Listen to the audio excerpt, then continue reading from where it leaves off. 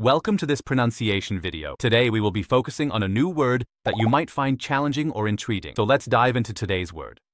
Judy, which means Juddy in Chinese. Let's say it all together.